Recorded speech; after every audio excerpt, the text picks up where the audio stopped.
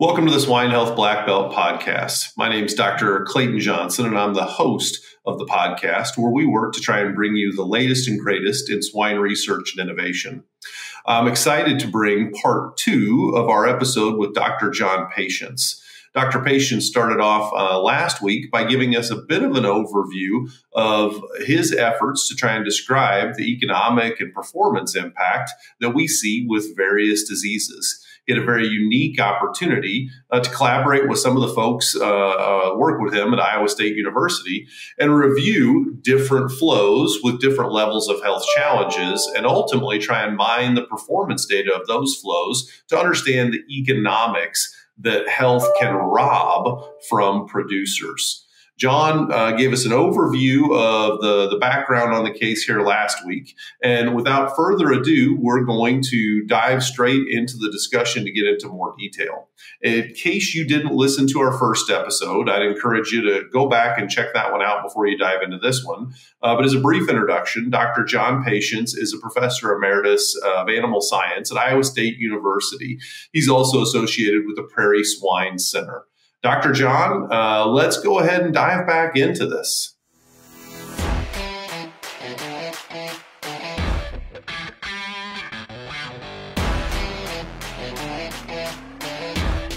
Well, let's translate those performance differences, John, into economics, into the bottom line for the producer.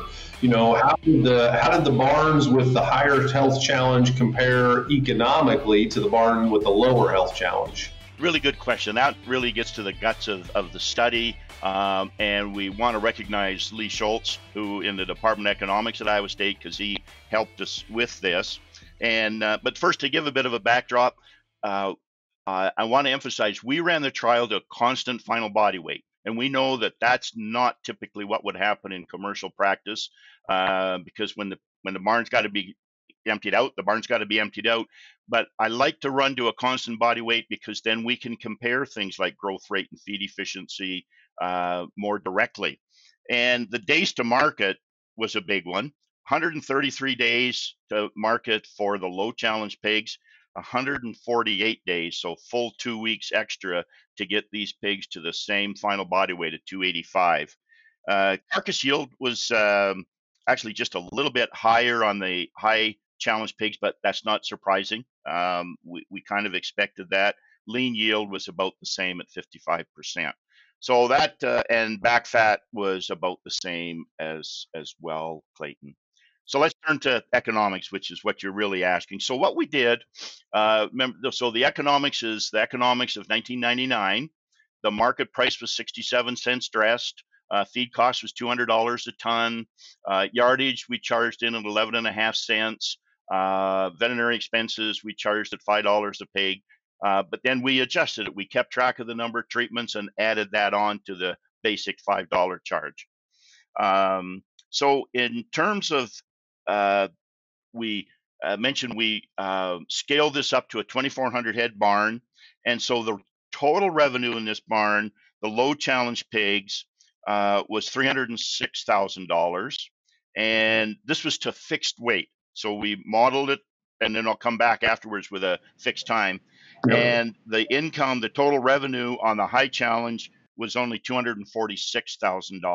So, uh, you know, what's that? 50, 60, $65,000 different. On a per pig basis, um, the profit per pig placed on the low challenge barn was $13.50. But on the high challenge, it was a loss of $5.72. So a swing of uh, $19.25. Wow. Uh, and the intermediate uh, was a swing of $8.94. I mean, that's almost the cost of just the housing for the pigs by itself. I mean, that's yep. a that's a pretty major delta in cost there. And for producers thinking about, you know, how do I how do I afford an investment in health? You know, sometimes you think about it the other way, right? How do you not afford an investment in health? Exactly. Yeah. It's um yeah, it's uh it's it's uh, especially when the times are tough, it can be the difference between making money or losing money or how much money you're going to lose and and that's a big swing of almost $20 per pig. Yep. If we uh, we also did what's called sensitivity analysis and we said, well, what happens if we uh, change the market price by 20% upward and downward, and change feed costs by 20% upwards and downwards. And so, again, comparing the low challenge to the high challenge barn, remembering we were uh, we had a, a, a loss of, of uh, net income of $23.27. If we had a 20% decline in market price, that 23.27 only went to 24.58. And if the price went up by, um, uh, uh, sorry, I'm sorry, it, uh, it went to uh, down to $22.51. Pardon me. But if we if we uh, lowered the price of feed by 20%, say, hey, that, that might help us. It didn't help very much because it went from 23.27 to 24.58. So it didn't didn't really help very much. And that was one conclusion from our sensitivity analysis. Didn't matter whether market price went up or down by 20% and feed went up or down 20%. The differences were still, roughly speaking, in the same kind of ballpark it's just hard to overcome a producer who can market 20% more product than another producer, right? That's exactly it's right. Comparing fields of, uh, of canola or corn or something like that, right? If you can raise 20% more crop than the person next door to you, boy, you're going to sell into the same market conditions. I know we all like to brag about how well we sell our, our pig crop or our grain crop, but we all sell it into the same market at the end of the day. And if you're selling 20% more, boy, that's uh, that leaves a lot of room to be wrong in other areas or to not have an advantage in other areas if you can maintain that high health status. Right on. And yeah, absolutely, uh, Clayton. And so that was a scenario where we said, okay, in this 2,400 head barn, we do have the time we're not time constrained, so we can feed the pigs out to the 285 pounds. Now, what if we said, well, we don't have uh, unlimited time and the pigs got to go to market and we got 133 days on average to deal with? Mm-hmm. What's the difference there? And in that case, we went from uh, gross revenues in the barn uh, $307,000 with the low uh, health challenge to $229,000 in the high challenge barn. So be, now we're getting a hit not just because of the mortality, but also reduced weight. Yep. And uh, now, of course, then we spent less money because we had fewer pigs and sure. we didn't put the same amount of weight on them.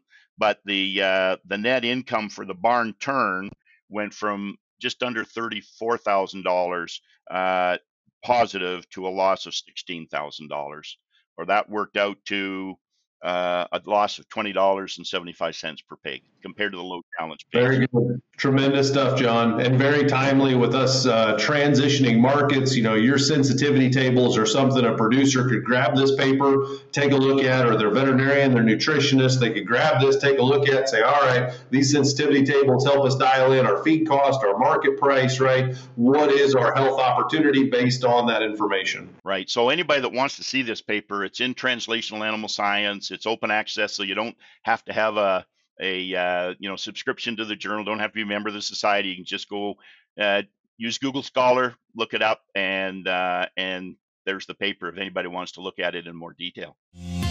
Salmonella presents significant challenges to pig health and performance and poses food safety risks to humans. As the first and only vaccine offering live attenuated strains of both Salmonella cholerae suis and Typhimurium, Enterisol Salmonella TC from Boehringer Ingelheim protects pigs against both serotypes with a single oral dose. Talk to your Boehringer Ingelheim representative to learn more. It's tremendous. Thanks for all the work, John, that uh, you do. And you know, you mentioned the great team at Iowa State, the Prairie Swine Center team. Um, really appreciate all the support of you and your groups uh, that really help the industry, especially in these times of need. Great. Well, it's my pleasure, and thanks very much for the opportunity to chat uh, today, Clayton. I know you're a busy guy. Well, we should thank our audience, John. Um, you know, without them, we certainly couldn't be doing this. Um, uh, for everybody out there, we really appreciate you listening to the Swine Health Black Belt podcast. If, if you haven't seen our website, please go check it out at swinehealthblackbelt.com. If you haven't subscribed, please subscribe so that you, you get not only this wonderful episode with John, but all the episodes we put out every week. Um, and please, uh, if you enjoyed it, tell a friend, forward this episode to somebody. Um, we really appreciate that word of mouth uh, communication and recommendations.